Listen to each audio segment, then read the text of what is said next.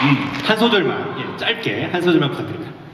My love DRC 너도 힘들겠어 어제 다시 찾아오나 받아준다 했을 때 그때 내 속에 어, 哇，太棒了！来，掌声鼓励一下，很好。来，同时我们来看一下幕。